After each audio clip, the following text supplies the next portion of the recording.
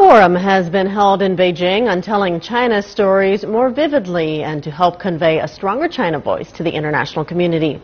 Over 40 scholars and celebrities across the country attended the forum and were awarded certificates of messengers of the mission.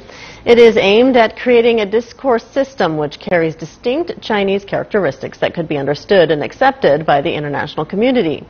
The organizer, the Publicity Department of the Communist Party of China Central Committee, said scholars and celebrities have great influence in letting global audiences better understand China.